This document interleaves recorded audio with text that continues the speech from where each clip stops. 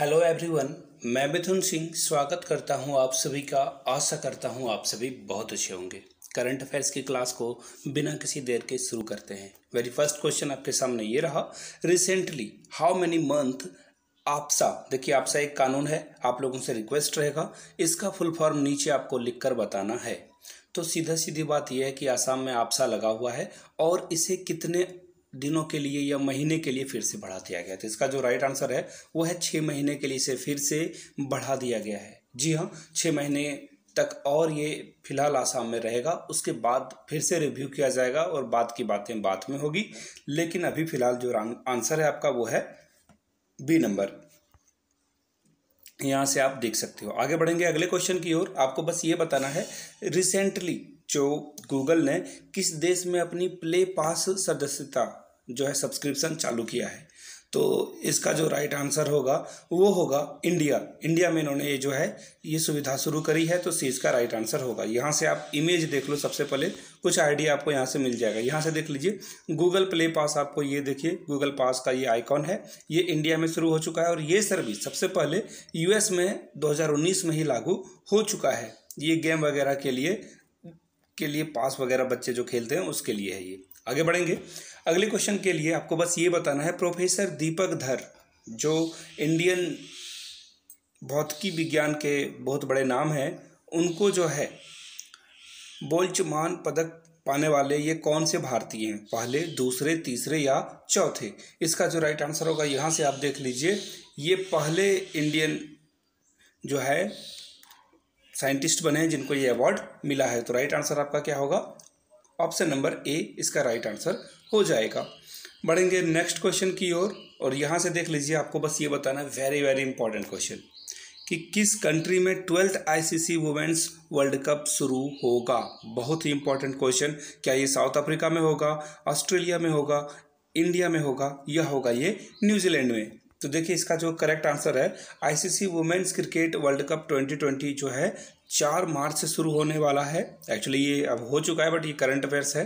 तो ये न्यूजीलैंड में होने हैं। एक्चुअली ये न्यूजीलैंड में हो चुका है। याद रखिएगा कौन कौन सी टीमें पार्टिसिपेट की थी?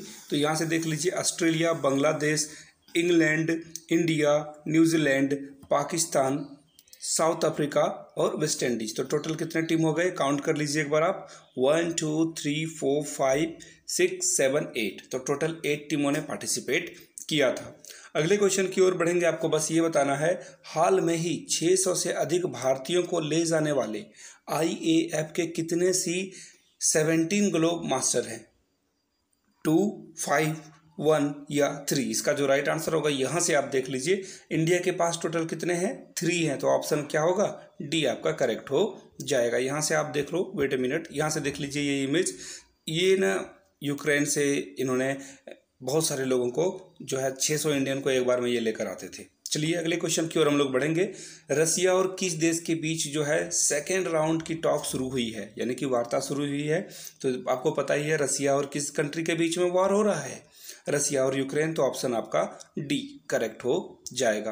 अगले क्वेश्चन की ओर बढ़ेंगे और उससे पहले आपको एक छोटी सी इन्फॉर्मेशन दे दूँ। अगर आपको ए e e के प्रीवियस ईयर क्वेश्चन पेपर चाहिए होंगे तो क्या करना होगा? हंड्रेड रुपीज़ का एक छोटा सा ट्रांजेक्शन आपको करना है, ताकि आपको प्रीवियस ईयर क्वेश्चन पेपर मिल जाए। फर्स्टली सेकेंडली आप अगर नोट्स लेना चाहते हो तो टू नाइन नाइन का एक छोटा सा ट्रांजेक्शन करके आप इसके नोट्स मुझसे परचेज कर सकते हो। बहुत ही इंपॉर्टेंट नोट्स हैं हैंड रिटन नोट्स हैं। तो ईमेल कर लीजिए your Mithun Singh at the rate Gmail dot com पर इंस्टा पे हो then do follow me at the rate I Mithun Singh तो चलिए, अगले क्वेश्चन की ओर हम लोग बढ़ते हैं। आपको बस ये बताना है, हाल में ही recently make in India for the world पर बजट के बाद वेबिनार को संबोधित करने के लिए कौन, इन लोगों ने में से किसने संबोधित किया था? अमित शाह, डॉक्टर जितेंद्र सिंह, नरेंद्र मोदी या निर्मला सीतारमन। देखिए, यहाँ पे नरेंद्र मोदी को छोड़कर सभी जो है कैबिनेट मिनिस्टर हैं, आप नीचे कमेंट करके उनका नाम ज़रूर बता दें। अमित शाह जैसे होम मिनिस्टर हैं। तो डॉक्टर जितेंद्र सिंह कौन सा मिनिस्टर है? निर्मला सीतारमन कौन सी मिनिस्टर है? फ़िलहाल मैं आपको राइट आंसर बता दूँ। ये भारत के पीएम हैं जिन्होंने इस मीटिंग को क्या किया था? लीड किया था। आगे बढ़ेंगे, यहाँ से आप देख सकते हो। आगे बढ़ेंगे।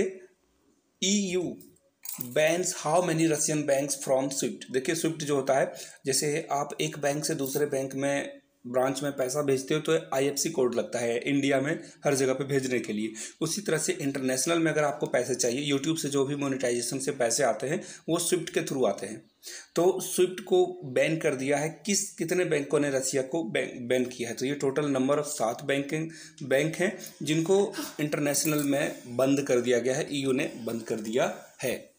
बड़े और यहाँ से ये आप इमेज भी देख सकते हो। तो वीडियोस आते रहेगी, आप लोगों से रिक्वेस्ट है। नए हो तो चैनल को सब्सक्राइब कर लेना है। घंटी वंटी का बटन नहीं दबाया है तो दबा लीजिए।